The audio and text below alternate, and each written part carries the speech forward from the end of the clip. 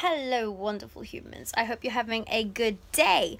Um, I am filming a response video to E.Z.'s video regarding religion and faith. He made a video, if you look back on our channel, a couple of videos back, he spoke about faith and how to um, exercise your faith, um, sort of what the Bible says in regards to um, practicing religion and stuff. I found it very interesting and I wrote a little response on my little sheet of paper.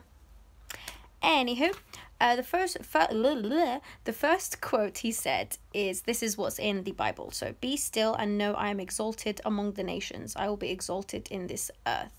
So this is something uh, that's in the Bible, a quote in the Bible, and um, E.Z. was talking about how in in this particular quote is talking about being still, being still in faith, being still in religion, um, so does that imply that you don't do things? Does that imply that you're not active? You're not an active seeker. You're still, you kind of sit still within God. You meditate on God. You stop. You think. You reflect, and you reflect on the words you read, and you reflect on on the Bible and stuff. Um, I found that very interesting because I think um, E.Z. was talking about that in terms of like meditating, being still, and and and like um really absorbing the message of the words which I agree with. I think it, it did give me that sort of vibe as well, like a meditative quality, being still in religion, you know, no, I'm exalted among the nations, I will be exalted in this earth. Like sooner or later, you know, I will be exalted, everyone will be believers, and blah, blah, blah. And yeah, now, you know the jazz.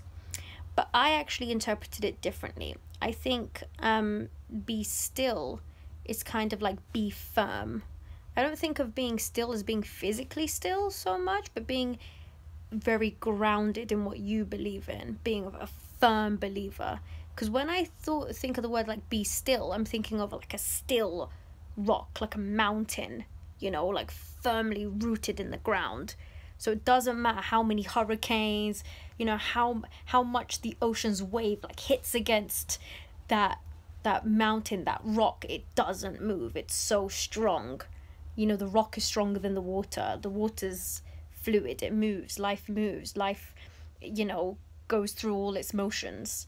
But the rock is firm. So I think it says, even in the drama of life, be firm within yourself, firm in your religion, firm in your belief in God. That's what I interpreted it as.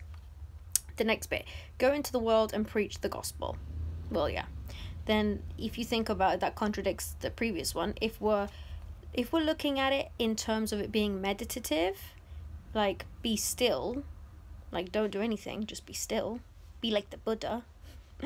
but go into the world and preach the gospel. So clearly it means yes, enjoy that quiet time with God. Like when you pray, it's very meditative. So I think it means be still and be grounded, be strong in your heart, in your religion, in your soul, but go out there and preach the word. You know, spread that joy, spread that certainty, spread that solidity. Because in life, people are looking for something to hold on to, right?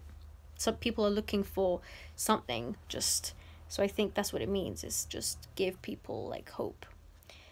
The last bit pray and wait expectantly before God. And I think that goes with the whole like, oh, you know, if you pray, God will hear you. You know, sooner or later, God will give you what you wanted to. You just have to be patient, and God loves the patient. It's in that uh, in the Quran as well. Um, God. I think it was on the lines of God doesn't want to give you what you want immediately. God wants to test you. It's about testing.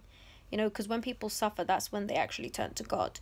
When they're having a great day, no one really cares, right? They're not praying, they're missing Sundays. Maybe, maybe some people in their happiness are still very religious too, but in what I see, and you know, just general, general idea, is people turn to God when they need God, you know, um, when they're struggling. They pray when they're in a, you know, hard, they're going through hardships and stuff. That's when people turn to God. So I think waiting expectantly is like knowing God will deliver what you pray because you're opening your heart to God and you're and you're giving God that praise, that worship. So waiting expectantly implies it's gonna happen. However, I don't believe in life you can just sit around and just wait, you know? Like, seriously, you can't just sit around and wait in life. You have to be an active participant in your own life. You can't just sit there and wait for things to happen. You know? Like, God will help you. Sure, the universe will will open its doors and things will manifest and things will happen but for the love of god you can't just sit there you have to do stuff you know anyway the next bit examine scripture every day. That's what paul said. Um, paul said it's true to examine scripture every day. So it implies in religion you should examine you should question you should read you should research. So it implies these three things all in all. Being still in religion being firm in your faith meditating on the words of God, depending, you know, and this goes across. It doesn't matter what book you're studying, whether it's the Torah, the Quran, the Bible, whichever philosophy, is to be still, being firm, being grounded in your beliefs. And also questioning it too, questioning in it, questioning it, studying it, reading books, just having discussions, furthering your knowledge, those two. And then, yeah, you know, preach the word, spread the joy, and wait expectantly before God. But again, within balance, within reason. You have to be an active participant in your life. So that's my take on what E.Z. has said. Let us know what you think.